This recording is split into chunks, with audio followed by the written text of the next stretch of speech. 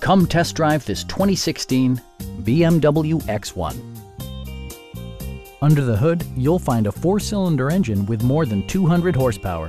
And for added security, Dynamic Stability Control supplements the drivetrain. Turbocharger technology provides forced air induction, enhancing performance while preserving fuel economy. BMW prioritized practicality, efficiency, and style by including a built-in garage door transmitter, front dual-zone air conditioning, and seat memory.